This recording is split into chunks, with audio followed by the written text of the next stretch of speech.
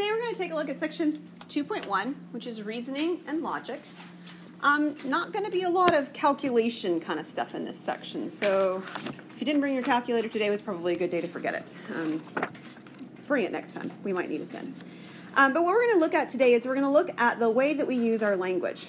Um, I will tell you what that having looked at this, and I do it every semester. I've been doing this every semester for quite a few semesters now it bugs me when I hear people use logic wrong. And you will probably get bugged at some point too by it because you'll be like, that's not how she should have said that. So let's take a look at some of these examples today. To start with, we're going to talk about what a statement is. A statement is a sentence that is either true or false. And what I'd like to do is to give you both an example and a non example of a statement. So, an example of a statement is I ate eggs for breakfast.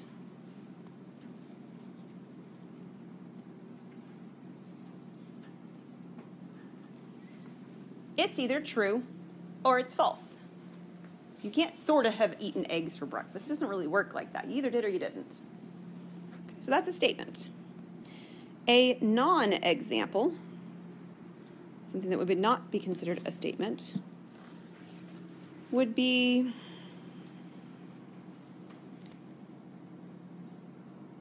What did you eat for breakfast?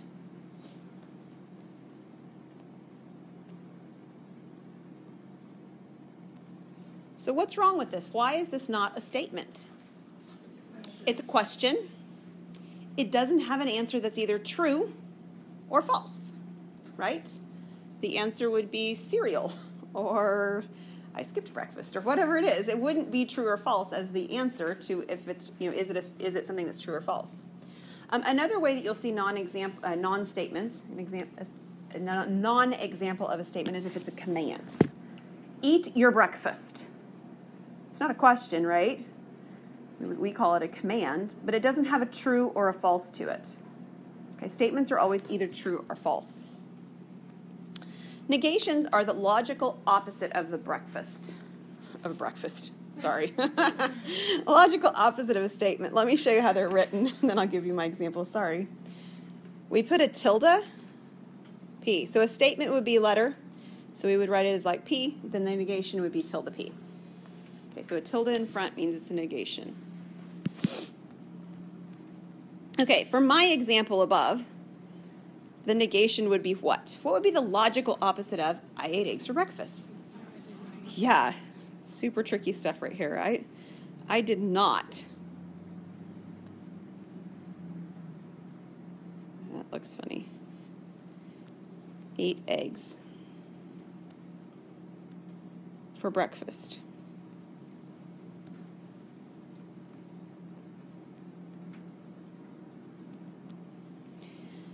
Now, there are some statements that are really easy to negate.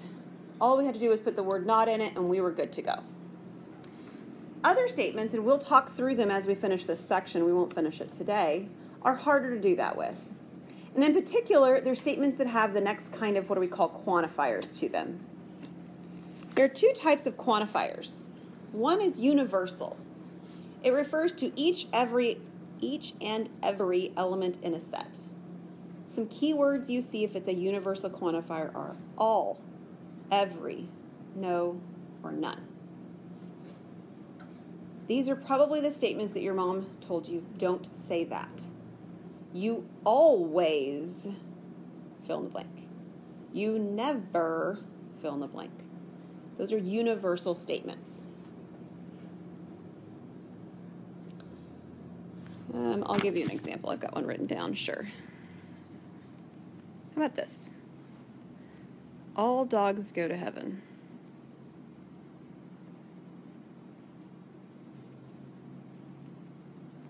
Whoops. There we go. Heaven. The word all is one of those words. All means nobody gets left out. All for one and one for all kind of thing, right? All right, a universal quantifier, I'm sorry, an existential quantifier, the other one, refers to one or more elements in the set. Some, at least one, or there exists. Those are phrases you see when you've got a existential quantifier. So here's an example. Some people like swimming.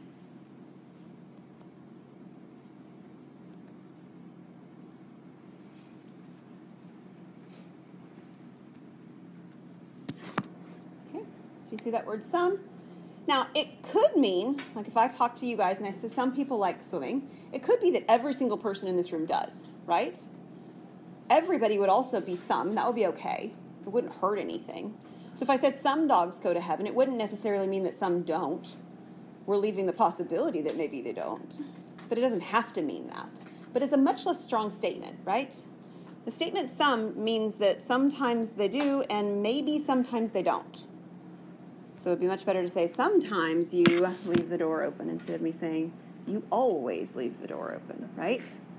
Probably somebody's not going to get very upset if I say sometimes you leave the door open because they're going to go, yeah, sometimes I do. And if you say you always, and you're like, no, uh, I didn't. I, I closed it last week. I specifically remember. Okay? So here's the thing creating negations when you have quantifiers, existential or universal, can be really tricky. It's a lot more difficult to do than just putting the word not in the middle of the sentence. So I'm going to give you a couple of examples where we would do negations for these. So I've got my all dogs go to heaven one. Okay, write a negation for the statement. Now think about it with me. If we made the statement that all dogs go to heaven, every single one of them, what is the least thing that it would take to make that statement false? What? Think, don't think words, think logistically. All dogs go to heaven. What is the least thing that would make that false? If your mom says to you, you always leave the door open, what is the least thing that could happen that makes that false? One time, right? Not doing it one time. The least that can make this false is if just one dog doesn't. Agreed? We don't have to say all of them don't. We just need one of them for the statement to be false. That's all it takes. So when we're looking at these quantifiers, what happens is universal quantifiers, when you do a negation, become existential quantifiers. I need to replace the word all with one of those existential statements. So you guys can pick one. Do you want to use some, at least one, or there exists? Because we could use any of them on this one and write a sentence that makes sense. Some. That's a nice one on this, sure. So this is a negation. Some dogs what? What do I also have to say to actually make this negated? Don't. Some dogs don't go to heaven.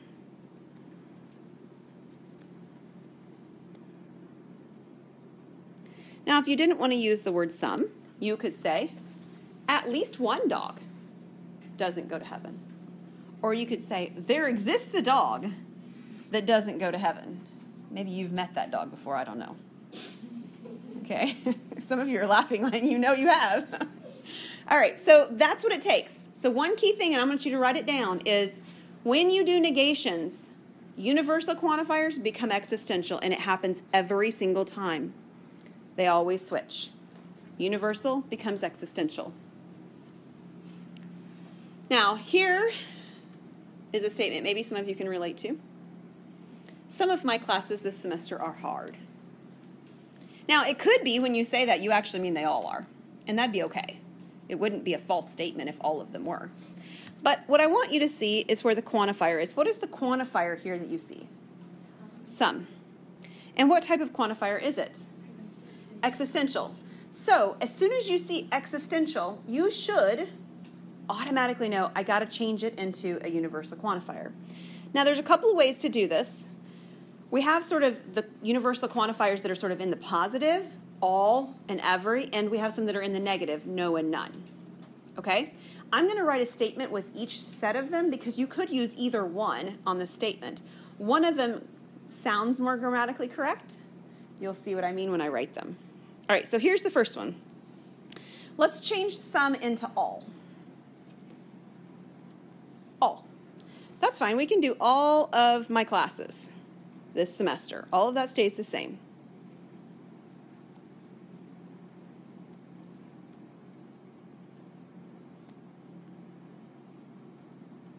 Now, the part at the end has to have something done to it.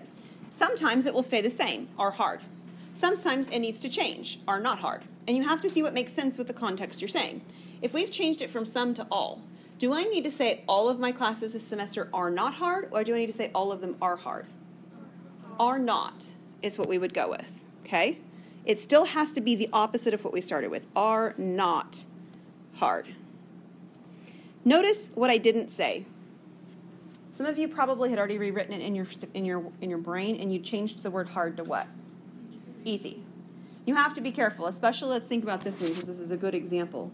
Can you always tell me that the class is hard or easy or is there some middle ground sometimes? And that's how most things are in life. There's some middle ground when you're sort of describing how things are. So we want to make sure that we actually clarify to be the exact opposite, and the word not will do that for us without sort of inferring something that wasn't meant to be inferred. I want to rewrite this again with the existential, or sorry, the universal quantifier that's sort of the negative of this. And I'm going to put the word none just because no sounds weird with the grammar going on. So none of my classes would be another way to start this. None of my classes this semester.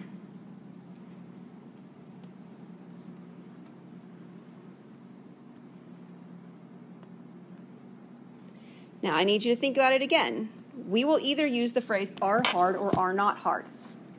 What's going to make sense with the way that we've begun the statement? Are hard. None of them are hard. That's the opposite of some of them are hard. Okay? So none of them are hard. Now, in some sense, it sort of feels like, well, I didn't I didn't actually make it negative. But you did. Where did you make it negative in the second example? At the word none at the beginning, right? So we've got the negation piece right here that not, and this one's got the negation feel to it at the beginning. Now, which one do you think is more the way we speak? The second one's actually the more the way we speak. The first one's technically correct, and if you use it, it's okay. The second one's just the more is more correct in the way we speak when we think about this. So, all right. In judging whether things are statements are true or false, we're going to use a tool called truth tables. Just curious, who's used truth tables before? Oh, first time for all of you. Fantastic. Okay, truth tables are cool. Um, what truth tables are is they're used to show all possible true false patterns for statements. Okay, so we already said a statement is one or the other. It's either true or it's false. It can't be both. It can't be somewhere in between. That's not a, there's not an in between gray area. It's either true or it's false. So I want to show you how we would create a truth table for a negation first. So what you're going to do is you're going to draw a vertical line and a horizontal line. And we're going to say that our statement is P. Okay, so maybe the statement is all dogs go to heaven. Maybe the statement is I ate eggs for breakfast. I don't care what it is, but we're just going to call it P for the moment.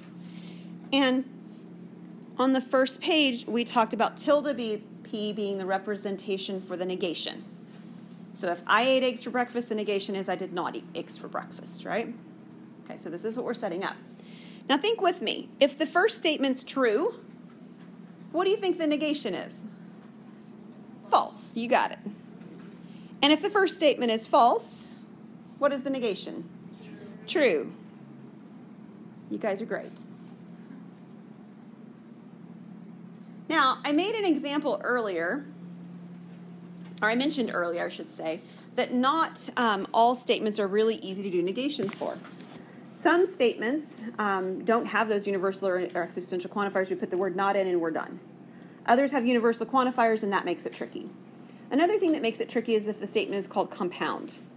A compound statement is two statements joined with a connective, such as and, or, if then. Can you think of any other connectives that you do join statements with? There's one that's not mentioned that people sometimes think of. But, that's the one they think. Um, the word but is, is equivalent to and. So if you do think of or see the word but written anywhere, it's the same as and. Okay? think about it. I say, um, I ate eggs this morning, but I also ate toast. Well, it means and, right? And I also ate toast. We're using it sort of contextually in English to mean um, that there's more to it or, you know, in addition to in a slightly different way, but it means the same as and. Okay, so there are two types of negation or of um, truth tables that we're going to look at today. The first one is called a conjunction. A conjunction is the equivalent of an and statement, and it's true when both statements are true.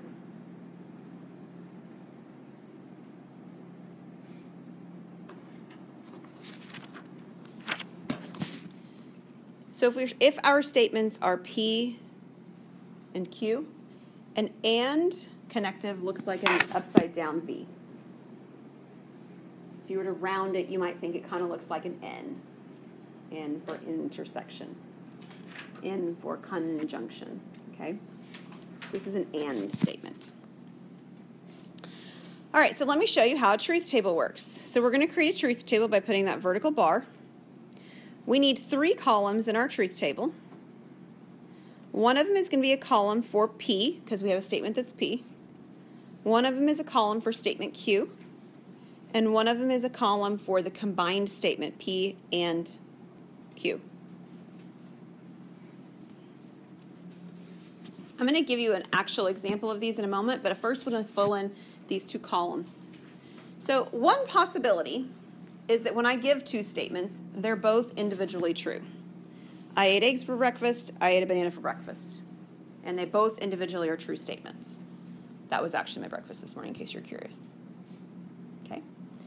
Now, it's also possible that the first piece of the statement's true, and the second piece is false.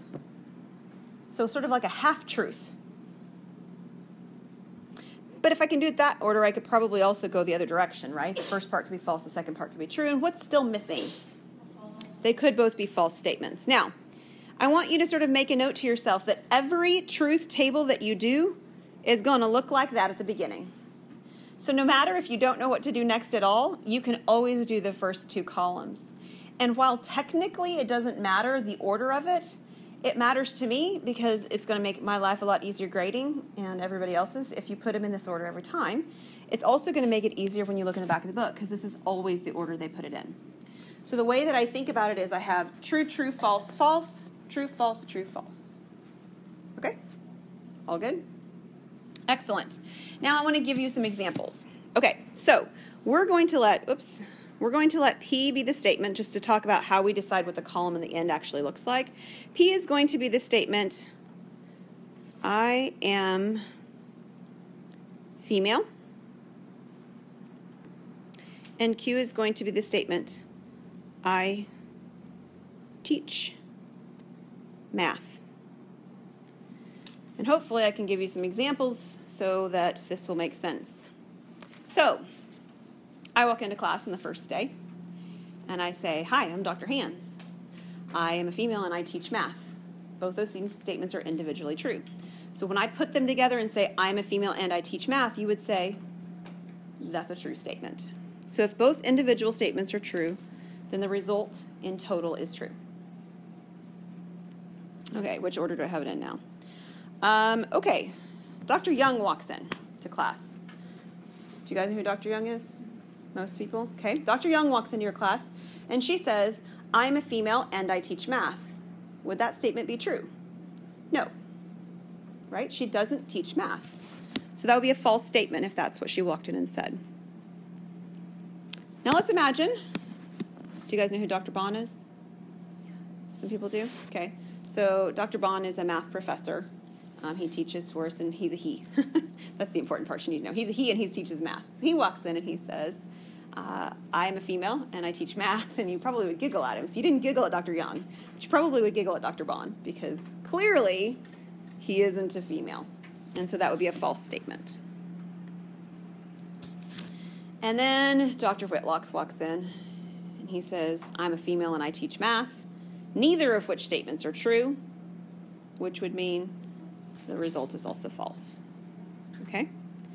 So, the reality is, if you look back at the statement itself about conjunctions, conjunctions are true if and only if both statements are true. So true, true, true. Everything else, if it's got a false statement as a portion of it, the result is false. All right, we have time for one more, and that's going to be our disjunction. A disjunction is the equivalent of an or statement. And if it is true if either statement or both statements is or are true. It's written PQ, and it looks actually like there's a V between them. Okay. Or. So we're going to create the truth table, three columns. I want you to fill in the first two columns because you already know how to do that. So fill those in, and then we'll check to make sure everybody's on the same page.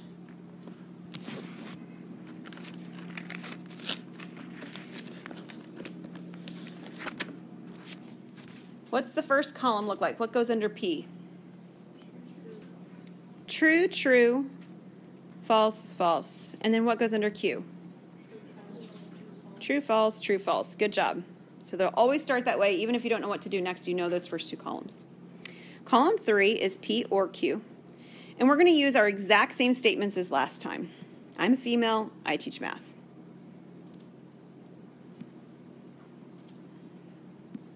Okay, and we're going to use our same subjects too. I walk in and I say, I'm a female or I teach math. And it may sound a little funny, but am I a female or I teach math? Yeah, you might be like, why did she say or? Shouldn't she have just said and? Okay, yeah, I could have, but it would still be a true statement. Awkward, but true. Dr. Young walks in and Dr. Young says, I'm a female or I teach math. And you would say, that's true because she is female. Dr. Bond walks in. You still might giggle at him, but he walks in and he says, I'm a female or I teach math. And it's true because he does teach math. And Dr. Whitlock walks in and says, I'm a female or I teach math. And that's false. So on a true state, or I'm sorry, on a conjunction, it's only true if both statements are true. That was what this one was over here. But on a disjunction, it's true if either portion or both are true. So we get more truth statements when we have ors out of them. All right? And we will stop there for today.